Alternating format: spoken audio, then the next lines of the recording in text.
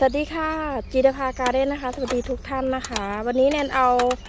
ต้นกล้ามาให้ดูกันนะคะ ต้นกล้าของแนนแนนเพาะทีเดียวหลายสายพันธุ์มาก ๆ เลย แล้วจะมาโชว์เพื่อนๆดูนะคะว่าเมล็ดพันธุ์ที่มีคุณภาพเพาะแค่ 2 วันนะนี่เน้นนะคะว่า 2 วันจริง ๆนะคะ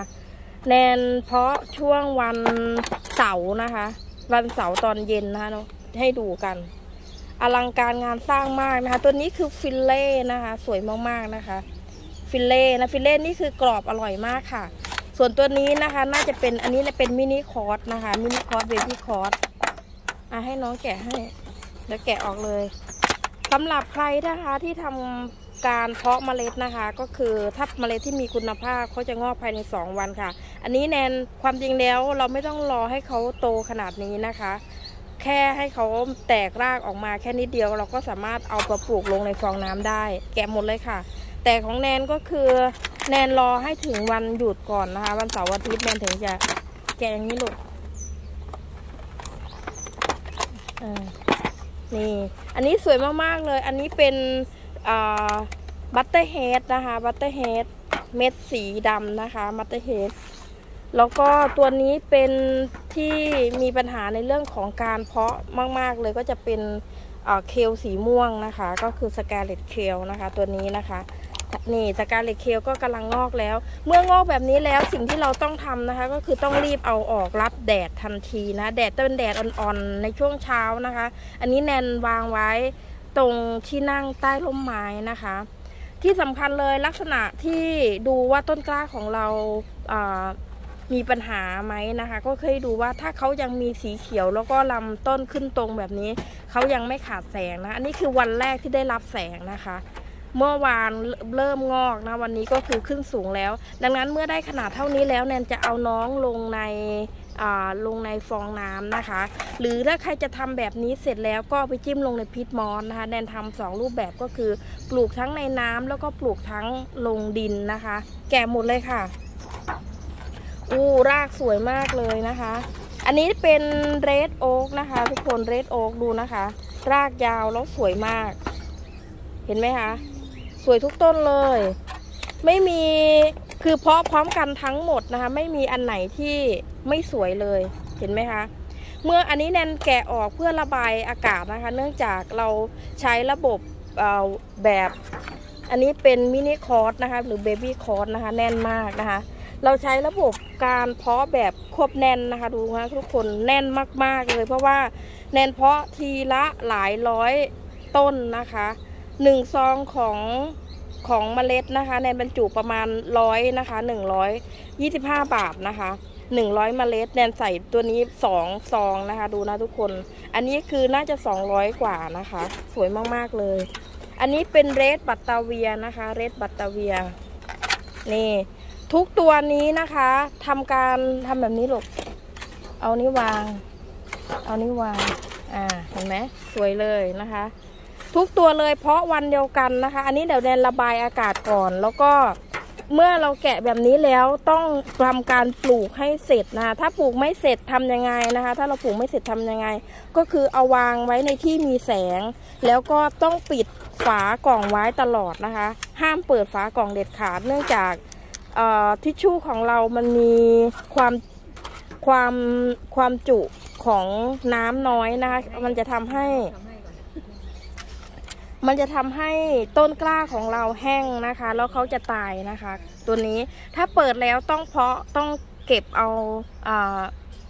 เมล็ดลงในฟองน้ำให้เสร็จ ถ้าไม่เสร็จต้องปิด ฝากล่องไว้นะไม่งั้นมันจะตายนะทุกคนเนี่ยค่ะ ถ้าปิดฝากล่องไว้แล้ววางหลายวันได้นะ แต่ต้นกล้าของเราจะยืดสูงขึ้นนะ ดูนะตัวนี้นะคะแนนอาจจะเปิดกล่องช้าไปนะคะ ดังนั้นวันนี้เอามาวางรับแดดแป๊บเดียวนะเดี๋ยวเขาก็จะยืดตัวขึ้นมานะคะ แล้วก็จะทำให้การเพาะของเราง่ายขึ้นนะคะเนี่ยค่ะไม่ ถ้าแบบนี้ยังไม่ยังไม่เสียหายนะคะ ก็คือสามารถทำได้สวยๆเลย จิ้มลงในดินดีมากๆเลย ทุกคนเวลาจิ้มลงไปก็ให้เหลือแค่ส่วนสีเขียวโผล่ขึ้นมาเห็นไหมคะ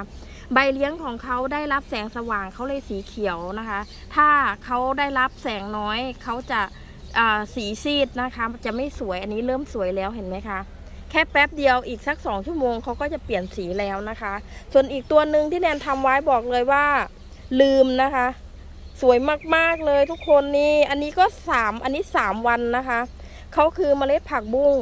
ว้าวเห็นไหมคะขนาดนี้คือกำลังดีนะคะกำลังดีคือรากไม่ยาวเกินไป แล้วก็ไม่สั้นเกินไป เวลาที่เราเอาไปจิ้มลงในฟองน้ำจะง่ายมากๆเลยแล้วสวยมากนะคะ ทุกคนแนนแช่หนึ่งคืน แล้วก็เอามาห่อผ้า วางไว้ในตะแกรงที่มีรูรั่วแบบนี้เสร็จแล้วก็ตั้งไว้ในที่ในที่ร่มนะคะ แค่สองวันลากงอกเลยไม่ต้องทำอะไรเลย แล้วก็ไม่ต้องรดน้ำด้วย ผ้านี่คือชุบน้ำเปียกตอนห่อแค่นั้นนะคะสามวันได้แบบนี้เลย ใครที่อยากทำนะคะ ลองดูนะคะง่ายมากๆเลย รวมถึงเมล็ดผักชีนะคะเมล็ดผักชีของแนนแนนแช่น้ำไว้หนึ่งคืนแล้วนะคะเนี่ยค่ะ แนนแช่น้ำไว้ในขวดหนึ่งคืนแล้วเดี๋ยวแนนจะเอาผ้าห่อทำเป็นสูญญากาศไว้ในกล่องนะคะทุกคนที่ ทำเหมือนแนนลองดูกันนะคะว่าจะได้เป็นแบบนี้ไหมนะคะ ใครที่อยากปลูกผักชีไฮโดรโปนิกทำตามคลิปของแนนได้เลยแนนมีคลิปให้ดูกันนะคะ ส่วนตัวนี้เดี๋ยวแนนจะให้น้องเอาาเมล็ดของเขานะคะ จิ้มลงไปในฟองน้ำกันนะคะสำหรับกระบะนะนี่แนนใช้เป็นกระบะสำหรับอนุบาลต้นกล้าของเอ่ออะไรนะ ของผักบุ้งนะคะ เดี๋ยวฉีกค่ะ ฟองน้ำของเราสามารถแยกออกจากกันได้นะคะหนึ่งแผ่นของฟองน้ำนะคะ มีทั้งหมดออเอาสองอันค่ะหนึ่งแผ่นของเรามีทั้งหมดเก้าสิบหกช่องนะคะ แต่นี้แนนจะทำเอานี่หลบ นี่ฉีกออกจากกันแบบนี้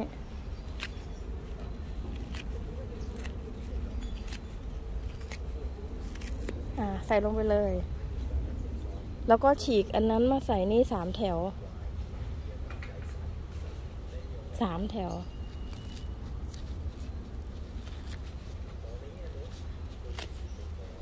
ขีดดึงออกไปแบบนี้ เออ เห็นไหมเอาอันนี้ออกสอง อ่า โอเค แค่นี้พอนะคะทุกคน แล้วก็กดลงไปค่ะ กดลงไป กดลงไปแน่นๆเลย กดลงไปเหมือนนวดอะค่ะ นวดให้น้ำเข้าไปอยู่ในฟองน้ำ ขั้นตอนแรกนะคะ เวลาที่เราทำการนวดฟองน้ำลงไปนะคะ ขั้นตอนแรกก็คือเราใส่น้ำแค่ประมาณหนึ่งข้อมือนะคะ หรือระดับเดียวกันกับความสูงของฟองน้ำค่ะ เวลาที่เราใส่ฟองน้ำลงไปแล้วน้ำที่อยู่ในกระมังจะซึมเข้าไปอยู่ในฟองน้ำเองนะคะ มันจะทำให้เราใส่เมล็ดพันธุ์ได้ง่ายนะคะ เมื่อทำแบบนี้เสร็จแล้วนะคะ ให้เราเอาต้นกล้ามา เวลาเราเปิดต้นกล้าไว้แบบนี้รากของเขาเจอกับอากาศ เขาจะรากดำมันจะไม่สวย เราต้องปิดไว้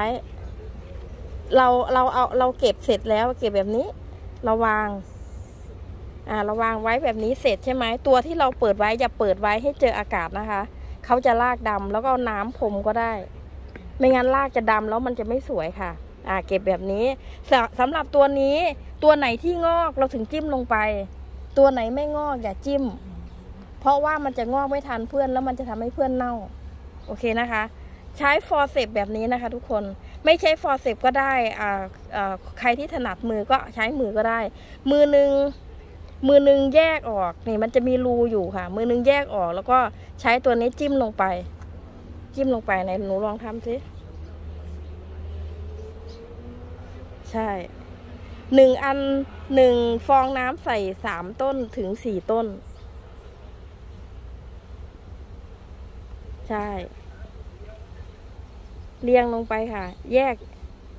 ใส่หนึ่งถึงสามไอไอฟองน้ำหนึ่งอะลูกใส่สามต้น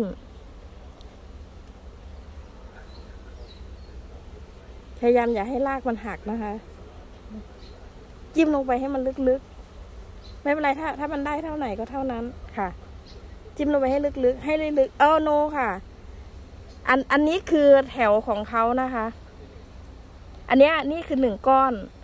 อันนี้คือระหว่างช่องอย่าไปเสียบนะคะ ระหว่างช่อง